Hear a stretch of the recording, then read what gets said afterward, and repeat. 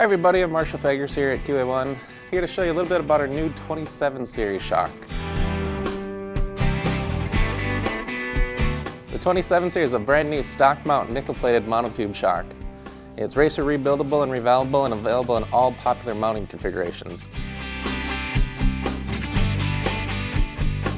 Some of the cool features of the 27 series are its electroless nickel plated body uh, nickel plating adds increased corrosion resistance and increased lubricity. That means your valving is going to be more consistent from the time the shock is new to when it's 10 years old.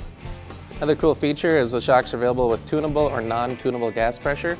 So if your sanctioning body or track rules don't allow you to have a gas pressure adjustable shock, we have a version that'll work for you.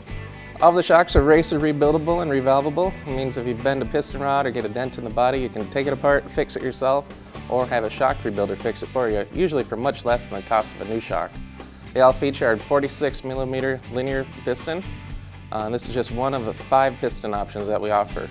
All the shocks are available in 1 through 12 on compression and 1 through 12 on rebound. So if you have a big tie-down shock or an easy up valving combination you'd like to try, we can accommodate you. 27 series is a great option for any type of car that requires a stock mount shock.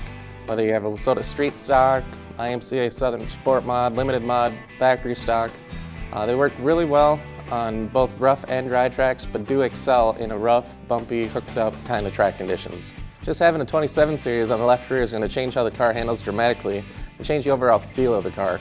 If you got any questions, give our tech line a call or check out our website, qa1.net.